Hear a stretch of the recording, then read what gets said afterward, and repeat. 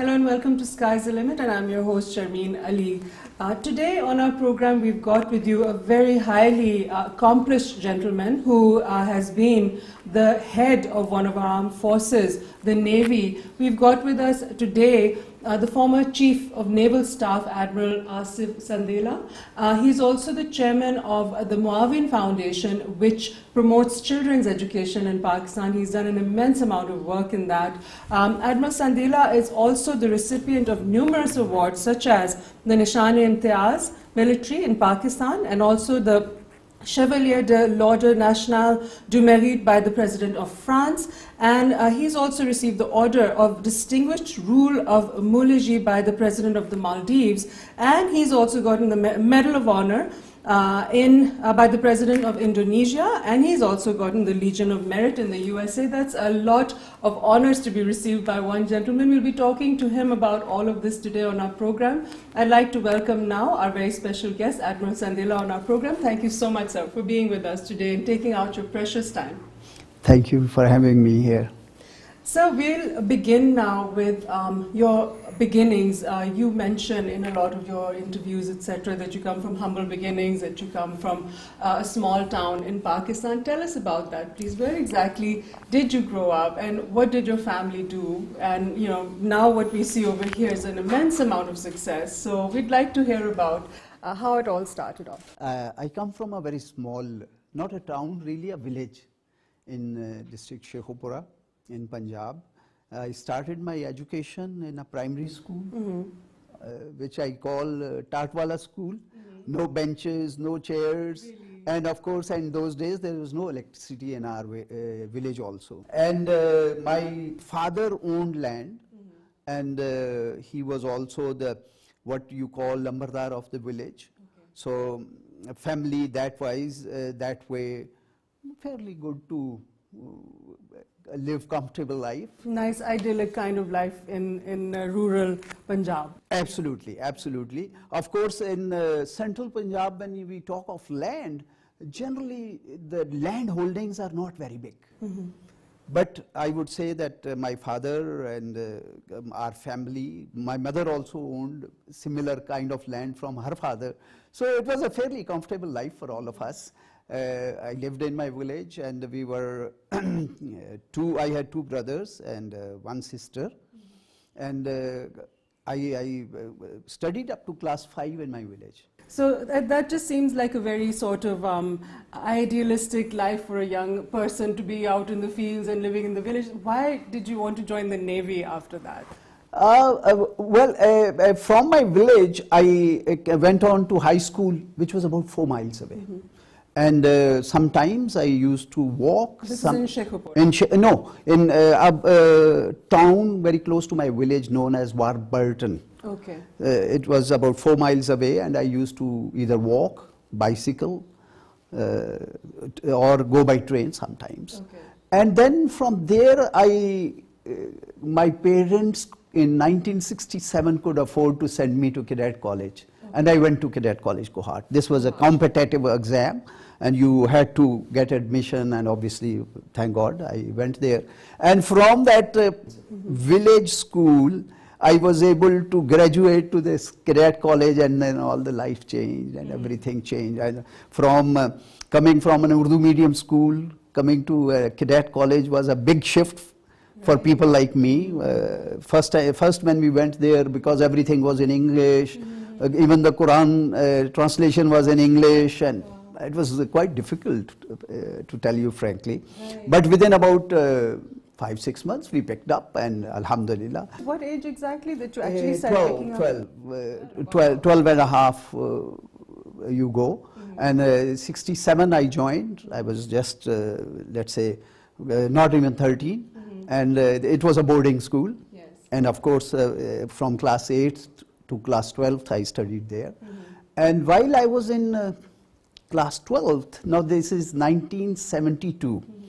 Uh, when we were still in the last year of our uh, uh college, uh, the 1971 war took place. Mm -hmm. And there was a lot of uncertainty in Pakistan. And uh, uh, we actually we were in Kohat in those days. Uh, military selection was through ISSB, and it was only in Kohat. So we just went to see because we never thought. Uh, and the first information came was about the navy, so we went to we applied and we went, and luckily I qualified, and uh, life went on. But then the war took place, and the situation became very fluid in Pakistan, mm. and uh, it wasn't very uh, uh, sure. I, I, wanted to either join the army mm -hmm. or become a doctor. But uh, uh, that was not to be.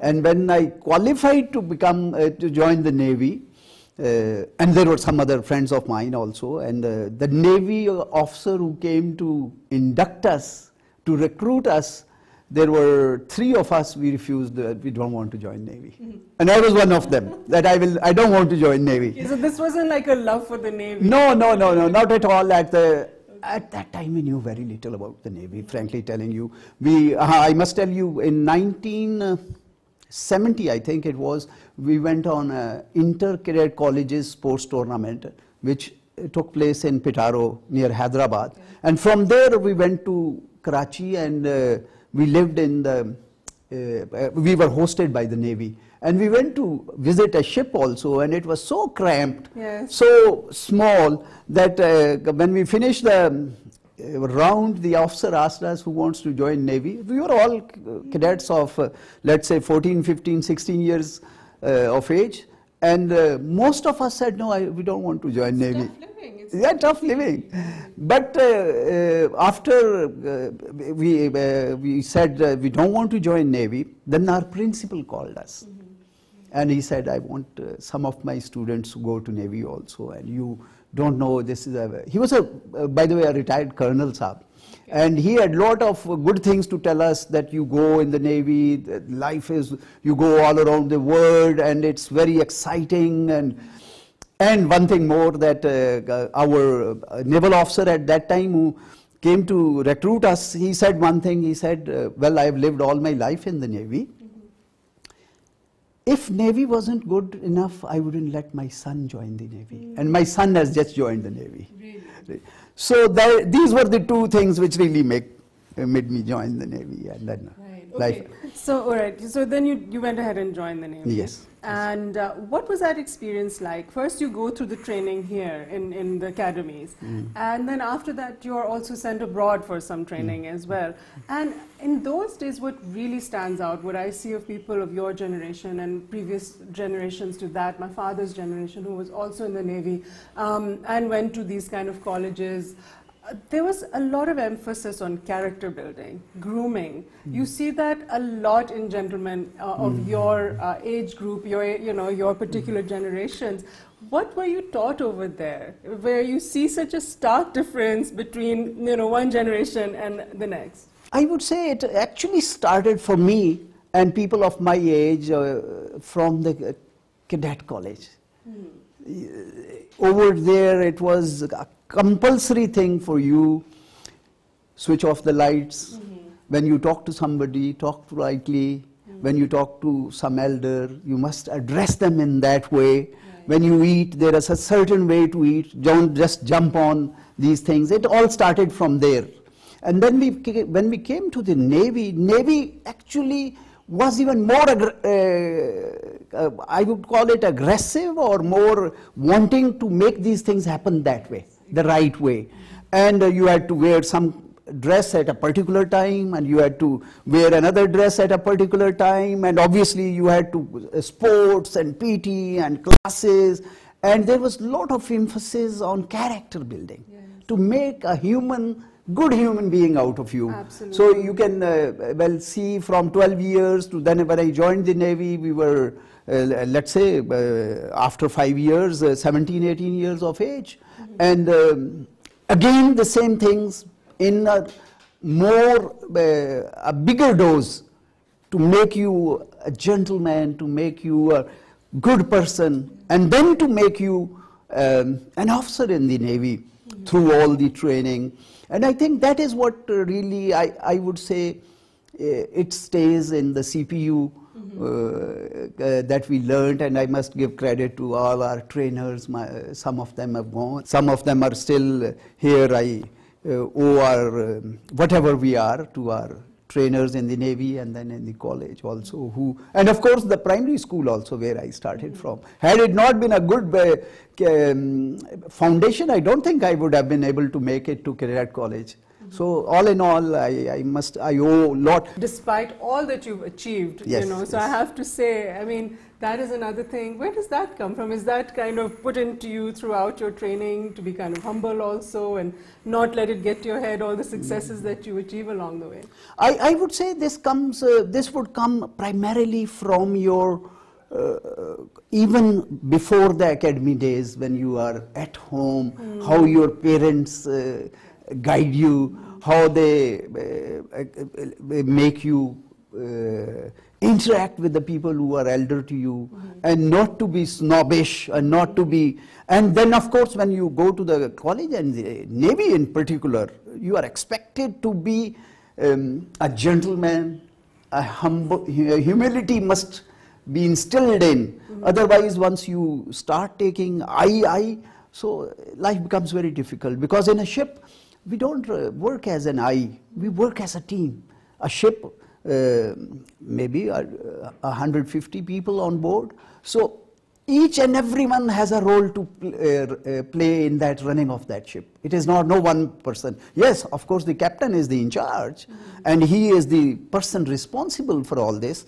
But all this happens because of a teamwork. Mm -hmm. It is only about uh, 250 or 300 feet and uh, long if you see and all people 200 people stand you don't you only have maybe about a foot and a half to yourself. Mm. So you have to be that accommodative you have to be that hygienically that careful to be able to stay to be able to stay together with the people. In such close quarters. Such uh, close uh, quarters, yes. So, sir, after the Naval Academy here, um, then you went to Dartmouth for further training, and that's next level kind of grooming and mm. all of that. So, tell us a bit about that experience. Uh, what did they instill in you over there? That, those are places where princes yes, have gone. Yes, yes, Charles, yes, for yes, example. Yes, yes, yes. Um, things like that, and uh, that was a time going to Europe, going to uh, England to to get your training it was a time when Pakistanis, and particularly Pakistani officers, had such a great deal of respect. Mm. So, what was that experience like for you? Well, after the academy, um, when we joined, so uh, in those days, uh, only not all of us went. There only from one class there would be maybe two or three people who would go to Dartmouth. Yeah. So I could say I can say I was lucky that I got a chance to go. Mm -hmm. But going to Dartmouth was another level of learning. And uh, over there, uh, I would say things became more, uh, uh more organized, if I could say, or more, uh, where again the same things. They would tell you how to sit when you are sitting and eating, and if there are ladies around, you don't, uh, you have to respect them and the way you eat, you sit together, you help each other, how you sail around, how you play around together. And of course, then the Navy, uh, all the subjects of the Navy and, and, navigation, science, seamanship, and all these things. But I would say it was again uh, emphasized to be a human being and to be a good human being, mm -hmm. to stay humble, to learn what you are supposed to do, to learn. Mm -hmm. First, you must learn, and then you should be able to do your work. Uh, it is not enough to learn and not do anything or it is not enough to just keep trying and not learning mm -hmm. so you have to learn and you have to do your work mm -hmm. this is one of the very uh, yes i would give you uh, discipline over the students that were with us of course we lived with together with the royal navy officers and uh, we uh, all used to stay in one room and uh, but i found one thing was very uh, challenging, I would say, or impressive, or they were much more disciplined than most of the other people who came from abroad. They were very, uh, whatever duty was given, they would try to do it to the best of their ability. Or I give you one example. One day we had gone outside and uh, we came back and uh, order was, you have to show your ID card to go in. And one of our uh, fellows, we lived in the same place, actually in the same room, and uh, he didn't have his card. And the other fellow who was also in our room was on duty. Mm -hmm. And he said, uh, well, I forgot my card. Mm. He said, yes, I know. His name was Lester. Lester, I know who you are, but I can't let you go in because I don't have orders to let anybody go in without a card. So he let us all go and kept him. And he went after one hour or two hours. But what I'm saying is that very sure about duty. Mm-hmm. What is your duty? And then they make sure that they do it. And do it very honestly. Very honestly. Right. Very honestly. That, that is a big. The, or, or implementation of the rule. Mm-hmm. Implementation of the rule and the law. That is no, no breaking rules. No, no, no breaking. You couldn't imagine that. And then, like you said, discipline, which you have in all the forces, uh, yes. that is very much part of your whole life experience. Whole life. Is is uh, discipline, and then obviously it also imparts down to your families as well. Yes, yes, yes, yes exactly. Yes, yes. So, sir, you were trained as a navigator, and then uh, you were also um, warships. Uh, you were commanding warships, etc. Tell us about life at the sea. What is that like? You were just telling us about how life is on a ship. Can you elaborate a little bit more about that? Because it's, you know, you see army camps and you see mm. how people are living here on the ground, but on a ship, very few of us get to actually experience mm. what that's like. I've been able to go on a, uh, Navy warship in the United States when mm. they come to New York Harbor mm. and for, it was open for tourists. So, I mean, the way it felt, it, like you said, it was so cramped and tiny and you know you have to go, go, around these narrow passages and things like that. And then when I, I think that my father spent years doing that and people like yourself have spent a lifetime doing that. Tell us a bit about that. One thing more i would like to add here is uh, you would see less pomp and show by the navy people. Mm -hmm. yes. And uh, when you are on the ship after you leave harbor you are out of uh, what you, you, can say out of sight out of mind. Mm -hmm even at times good things don't get to be known by people. Mm -hmm. And some of the mistakes that you make may also be not known. Mm -hmm. And number two, uh, you uh, as, a, as a uh, general, uh, you try to keep your ship or in particular submarine very silent mm -hmm. so that people are unable to detect you. Right.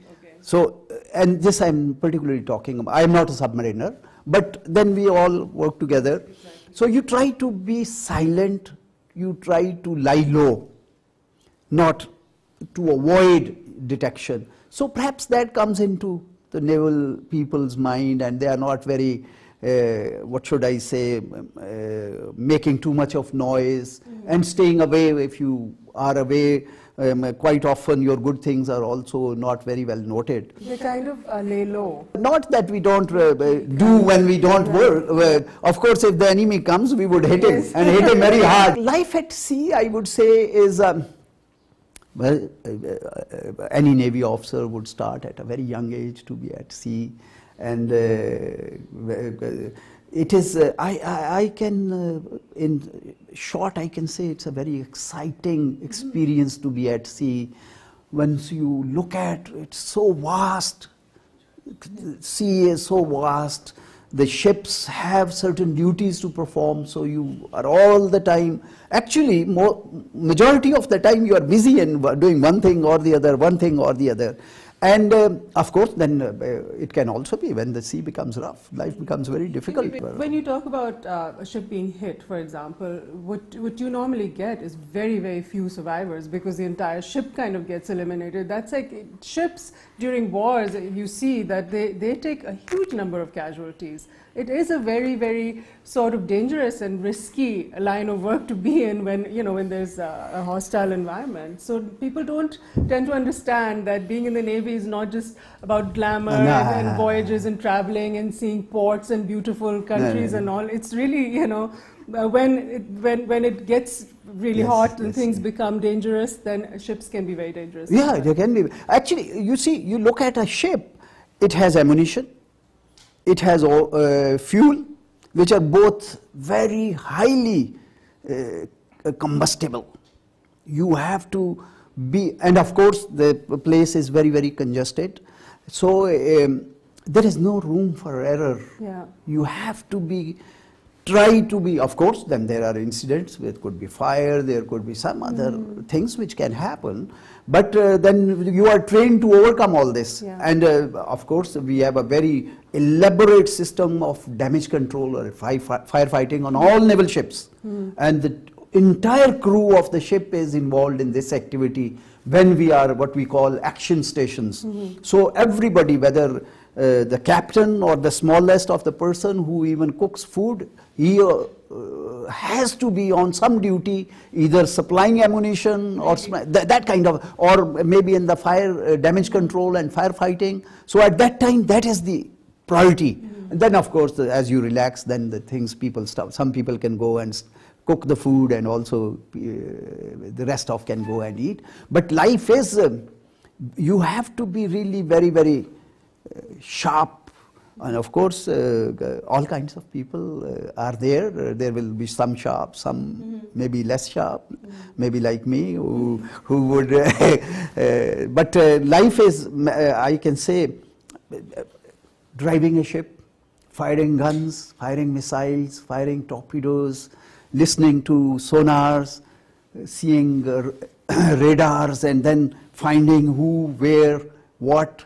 So it is really a very uh, interesting life. It's fascinating. It's fact, fascinating, For, for in regular people like Yes. us who've never seen something like that, Yes, except when yes. you go on a cruise, which is nothing Ah, compared no, to actually, that kind is, of- you are just traveling, no? You're traveling, exactly. But uh, on the ship, when we are working, we are not just traveling. Mm-hmm. We are actually doing uh, exercises. We are uh, doing firings. We are doing uh, various maneuvers and so many things. Right, absolutely. And uh, just uh, tell us a little bit about your voyages. What uh, stands out?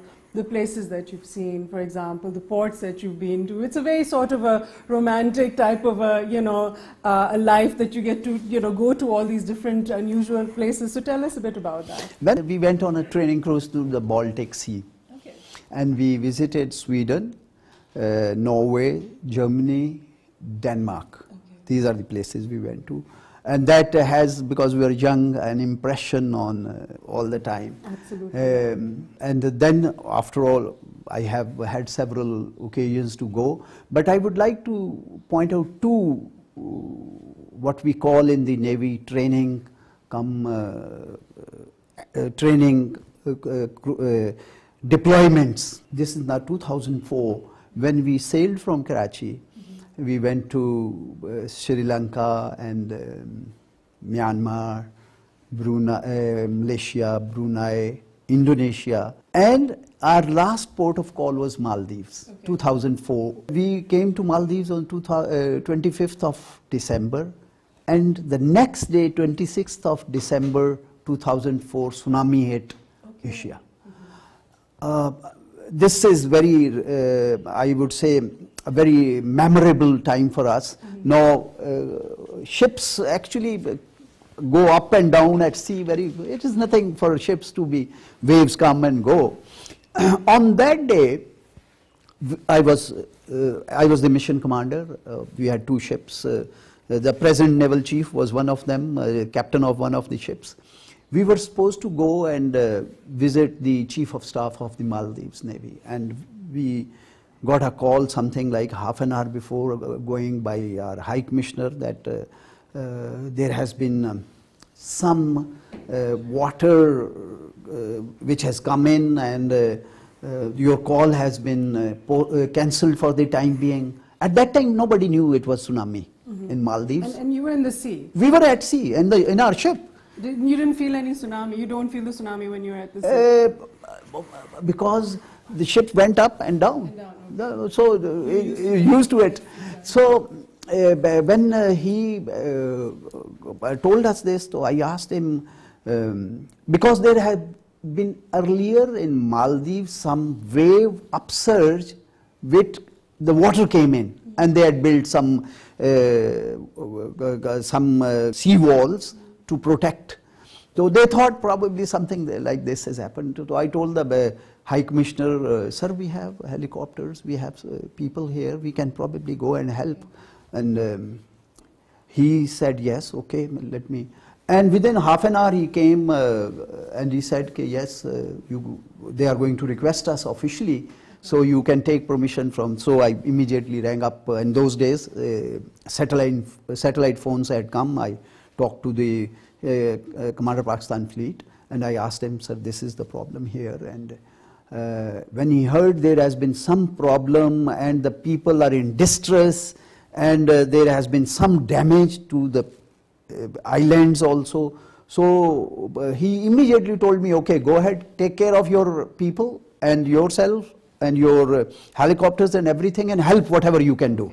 So obviously he would have to, he would have taken permission later on, but immediately he told me. So on the very first day, uh, when it happened, by that time it started to come around, the tsunami has come and uh, Maldives is a country of islands and it's uh, basically a, a, tourist country. Many, many people come. And uh, immediately we sent our helicopter and sent some, they said we are bringing food and medicine, but nothing came, so we put our own on the ships. We have uh, food available, which is uh, food and uh, medicines, and we put in the helicopter and we requested them, you please tell us where to go. So they sent their people and we went around Malé and wherever they said we dropped these things. So we came back that evening.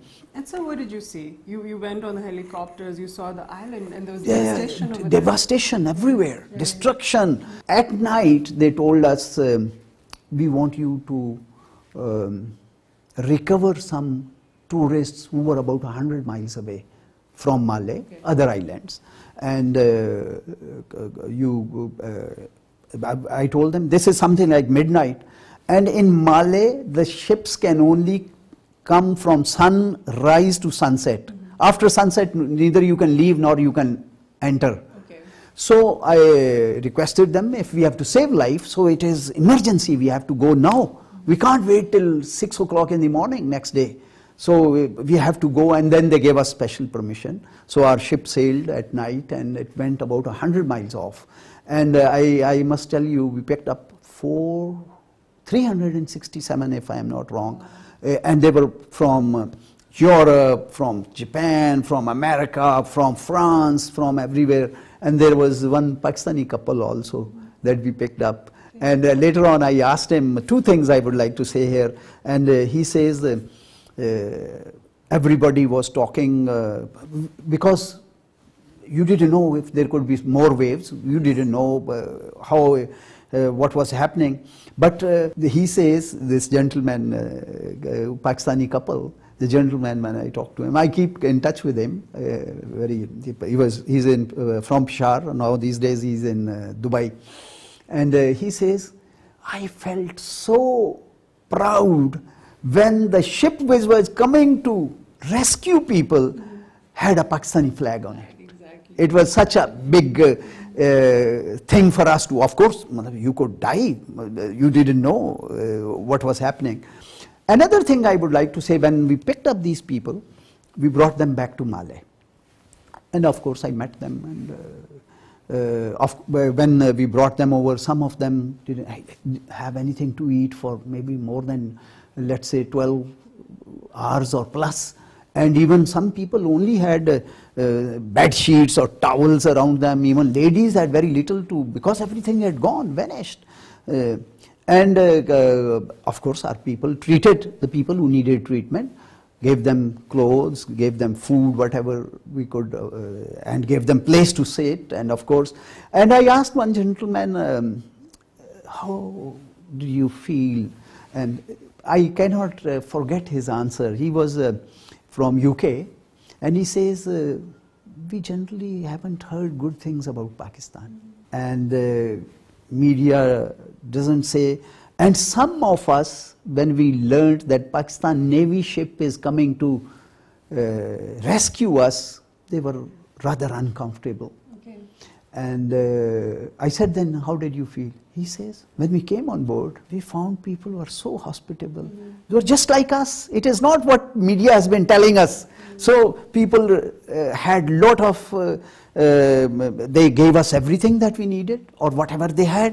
medical treatment, food, clothes. They, they, gave, they gave us place to sleep. And they were fortunate that you were there at the right We were there at the right time. So that the, this was uh, one, uh, uh, one of the voyages that I would remember forever. You've also joined uh, in different uh, interactive activities with admirals and all from India. Hmm. Uh, this is track two diplomacy uh, issues and all that you've been working on as an admiral, I believe, when you were in the Navy. And this was uh, to address incidents at sea and fishermen, etc., uh, those issues. Can you please elaborate on that and what was that achieving? This was actually my little role when I was Director General of Maritime Security Agency, um, which is basically for law enforcement at sea, which looks after the fishermen uh, or the fishing activities that take place, the uh, anti-smuggling operations, anti-narcotics operations, and all everything uh, law enforcement at sea. So a good thing uh, uh, at that time what happened was uh, there are fishermen we catch Indians, Indian catch ours, and there is a lot Because of the borders are not defined. borders are not in, with India borders are not defined and there is no line that you go here this is India or this is Pakistan. So these poor people go for fishing and uh, they and uh, uh, what we tried to do was that the fishermen should be able to be repatriated who come by mistake. By mistake. by mistake. Of course they are not all innocent also. There are people other people also with them. Oh, sure, okay. other kind of people. So you screen them and uh, those who are should be able to be repatriated. Pakistan does that fairly regularly but india takes quite a long time to And get many of our fishermen are languishing there. for yeah, years. language uh, for years, and uh, many of actually have been mistreated in many ways. And uh, that was, and one thing that happened when I was, uh, of course, it was happening before, that we had a hot line between uh, Maritime Security Agency, Pakistan Maritime Security Agency, and the Indian Coast Guard. And we would speak at that time, uh, uh, the Indian uh, uh, gentleman was, uh, I'm forgetting his name, was a Parsi who would speak, obviously he was senior to me, and uh, he would speak very good Urdu, and uh, we would talk every week, and um once I told him, uh, uh, uh, these people come and they fish in our area, and the next time when we went there, uh, astonishingly we found that the people who were in this side, there were Indian Coast Guard ships telling them, don't go there. This is Pakistani area and you will be caught if you go there. So there, there are some kind of, uh, I would say, understanding between us that we should be able to be working together for these fishermen. Right, and there was also a considerable amount of work on piracy. Piracy is one of the very mm, old professions that is known. It is said that the navies came about because the people used to go and um uh, pirates used to go and take uh, whatever was on board. In those days, there must be small boats, not very big ships. And then the rulers and the rajas, maharajas, they said, no, whenever our boats are going, we should have some people to protect. And that is how the navies came about. But piracy, what happened in the recent past was from about 2007 to 2013 14 was very um, off the coast of Somalia.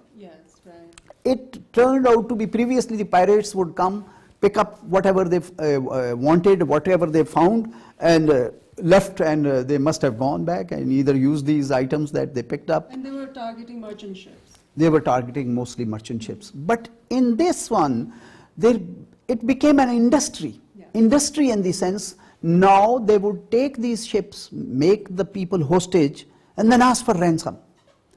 And the ships had to pay millions of dollars to get these people back. So this went on for several years. Then the whole world came, of course, the regional countries came, NATO came, America came, Chinese came, Pakistanis, everybody, and there was uh, a task force made to uh, these uh, protect these uh, these people. And of course but most of the big problem was uh, on land because these people would immediately call their people on either in london or dubai that uh, this much uh, and it is very interesting that the money that all came very little went to the pirates. Rest of the money went to people who were either the financiers or who were backing or right. so it actually was a very big criminal activity but thank god uh, the whole of the world navies came together mm -hmm.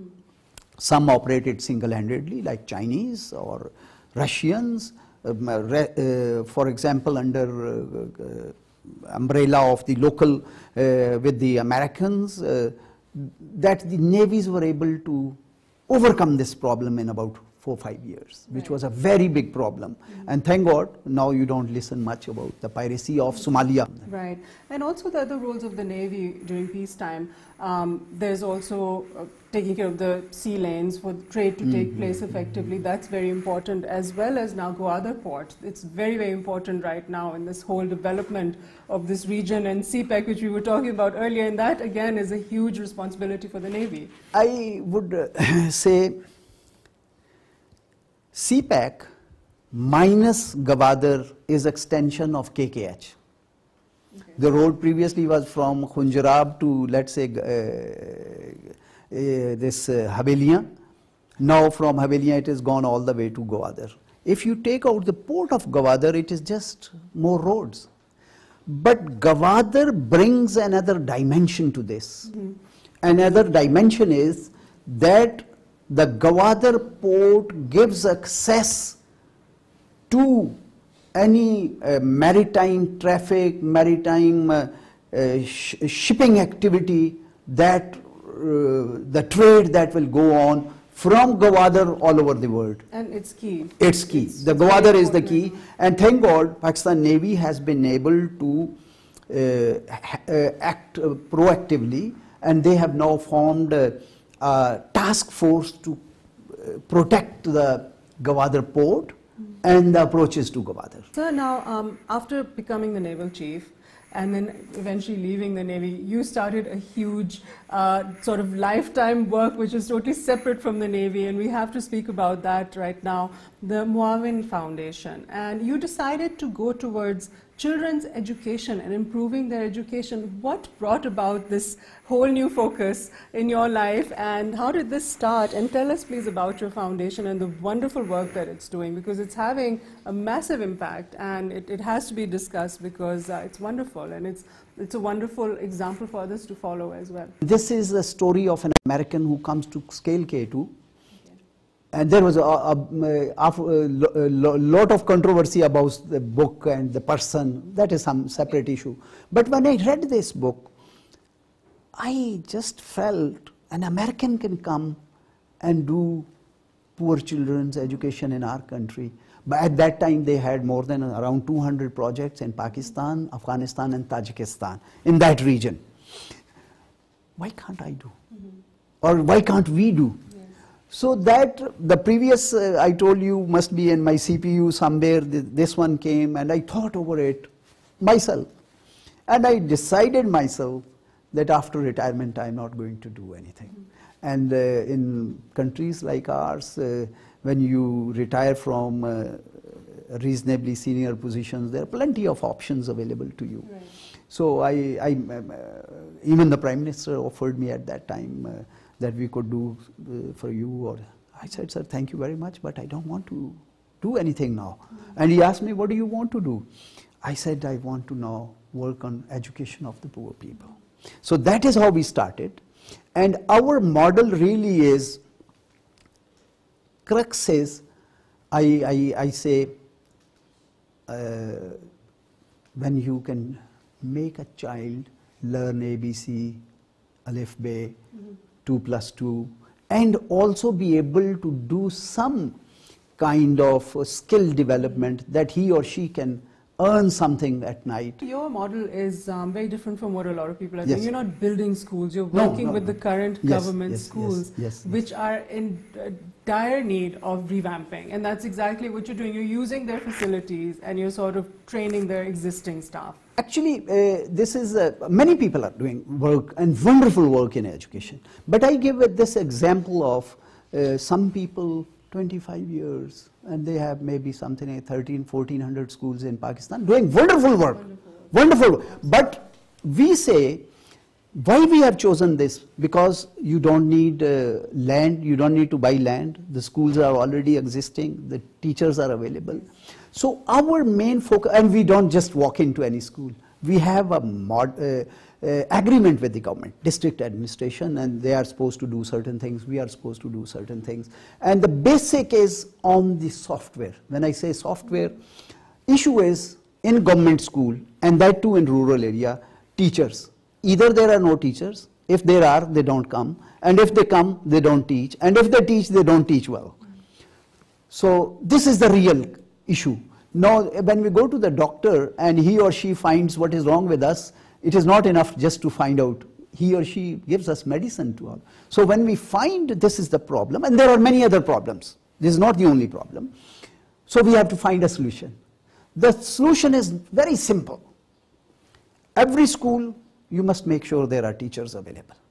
The government, when we sign an agreement, is supposed to provide us the teachers required in that particular school. If there are, there are some shortage, we hire them at our expense. Then we train all of them and train all of them at our expense with well uh, renowned uh, education schools like Ali Institute of Education in Lahore. And uh, of course we pay. That I will tell you little later. We pay little because we, we, went and met him so we train the we make the teachers available train them and then we supervise them our people go and check and of course I wonder maybe sometime I can take uh, Batsab and you uh, and show you that in a village, the school you go and see solar systems, wow. TV, videos, audio, teacher, visual, audio visual aids, mm. teachers trained, and uh, of course, then I say we have three must. Number one, I have said about the teachers. Number two is every school that we go to must have functional toilet. Mm. And there are toilets always, but maybe some are old. But in our school, you will go and see all toilets will be functional, and if they are less, we build more. Third thing, a must is uh, drinking water. Every school that we, and there are many people who are helping us. For example, Bank Al Habib has given us an open check that wherever in the school you want, we will make uh, uh arrangements for you. It is not just like you bore, you take water, you test, and then you make uh, filters and then uh, you have coolers and you can go and That's see safe drinking water. safe water drinking water then solar systems then the furniture then the class teachers uh, uh, what should i say facilitation in many ways so uh, this is what we really focus and I, I must tell you we started from my village two schools in 2015 girls school class 1 to class 8 mm -hmm. there were 140 girls mm -hmm. in 6 months these girls rose to 342. Wow. The results of class 5, 8 and 10 in the schools, it went from 0 to about 60% to from about 65 to 100%. Mm. The boys school class 1 to class 10, there were only 180 boys. Within 6 months, 370, now more than uh, 600 mashallah. The results again, as I said in the girls' school, so that if the children are coming, if the uh, results are getting better, there are private schools which I don't call private schools actually, they are making money and uh, they start to close so it looks like you are okay. So I must tell you uh, how it really, uh, then we have uh, one of our colleague who has vast experience of working with World Bank her name is uh, Ambreen Arif. I took her to my village, and in my view, what we had uh, that uh, I came from my village, so we started from my village. Then we thought uh, we studied in Cadet College Kohat, so we'll do some work there. I spent my life in the Navy, so we'll do something coastal areas of Sindh and Balochistan. And she gave us, she came and she said, Sir, don't make these polka dots. No, you should expand from where you are. Okay. So from those two schools, we went on to take a whole union council. Okay, so, so concentrated in the same area. The Same area. I took another friend of mine who came from USA uh, last uh, October, and uh, he now wants to do two more union councils uh, adjacent to our uh, area. And he, they've already actually sent us about $200,000 to, we'll make, uh, first we'll repair all these uh, school uh, rooms, classrooms, washrooms, furniture, and then also build more where required. Then will come in the teachers hiring, the audio visual aids, then will come the teachers training, and inshallah after about uh, August, September, we shall have uh, a reasonable. So starting from two schools, today we have 88 schools. Wow. Okay. 65 of them in uh, GB, 12 in Islamabad. Okay. But our Islamabad actually is not as much come up because COVID for last one year we haven't been able to really work. Mm. And uh, then we have four more schools in uh, uh, Jhelum, Pind Dadan Khan, and seven at the moment, but we will have about 12 to 14 more in Sheikhupura. Actually, if I have a choice, where there is, I would like to expand this Mm-hmm. so that this becomes an excellence, a center of excellence for everybody. And of course, I will tell you about the vocational training also. And this, uh, but when Sharmeen wants uh, to uh, do something, she will say, okay, I want in in my neighborhood, so you, I, you forget about. So that is how we are in uh, GB, that is how we are in uh, Jhelum, that is how we are. So the people who uh, spend money, they then want you to work in a certain In their areas Yeah, so well. that is how we are. enough. Now I am convinced, after about four, five years of work, we have an office, we have, uh, uh, today we have over 25,000 students, something like, uh, uh, I think, uh, uh, about a thousand teachers in all these schools, and our schools are in remotest areas of GB to Sheikhupura, to Jhelum, and of course we are going to work in Sindh These are children who would not have had this quality education Yes, before. yes. And in addition to the education, you're also imparting them with the very critical grooming that we were talking about Yes, earlier. yes, yes, yes. Who better to be at the helm of that than yourself, who knows what grooming is all about and how critical it is, especially at primary, secondary stage. That's when you actually build the character of a child which I see is what is needed badly in our education over here in Pakistan. People are coming out with degrees, but at the same time, you know, their care for humanity, the environment, etc., cleanliness, this, that, noise, things like that is, is not there. So you're putting that. We are really making a lot of effort into this. Again, I, I would say that our teachers is the main. If we are able to train them and supervise them, they will be able to deliver. For example, we put in a lot of effort on um, morals and ethics. For example, environment, energy conservation, personal hygiene. The boys and girls, as they grow, as a, at a certain age, body changes come in. And unfortunately, nobody trains these children. So we have a proper system whereby our teachers are trained by trainers who come and there are workbooks to tell girls and boys how to look after, after personal health, how to look cleanliness, how to do these things self-awareness. self-awareness. Somebody, we have every other day some problem of chi- child abuse. It is not only in Pakistan, world over.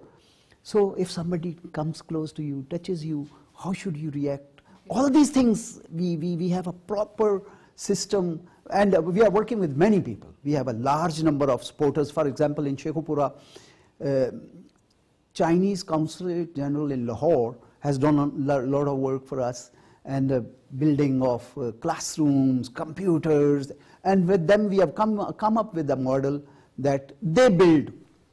We don't take money. We say we don't want money, you please.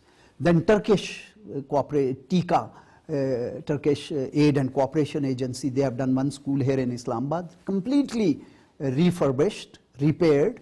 Now they are going to do some work for us in Sheikhupura, also some teachers training. And again, the model is that we don't take money. They will do everything themselves. Okay, so you have partners who, who do the work Who do with the you. work. Okay. Australian High Commission, they have a slightly different system. They have put solar system in all of our schools. And uh, that comes uh, because you are supposed to make uh, 25% and they pay 75%. So that is how we have put Okay. uh, these solar systems. One thing more I would like to uh, say is we have also started skill development for boys and girls. Okay. We have now a proper uh, school where girls learn uh, uh, beautician, uh, dressmaking, boys uh, electrician and motorcycle mechanic. If they get a job, Great. it's very good. Or then we link them up with Akhuwat and get them interest-free loan. So they Girl- can start a business. they can start a business and there are many girls particular girls are doing better than the boys boys also but girls are actually doing better Right. they either uh, buy a sewing machine or two and then start working the uh, beautician is the most popular Absolutely. even in There's the a village huge demand. huge demand and even everywhere. girls coming from my village now working in Islamabad, Lahore, Karachi, and the districts uh, and the cities close by. We started working with the stitching center, and what we do is we bring work. These girls do their work after the uh, expenses like the electricity and these things. We give all the money to these girls. Uh, and then we have also established a shoe stitching center. There is a uh, Sh- uh, Siddiq Sh- uh, Shafi leather uh, group, very big uh, name in Pakistan, and they are exporters as well, and uh, they make urban sole shoes also. So they have established a center where they have put in machinery, and the girls are, and we are focusing on girls really.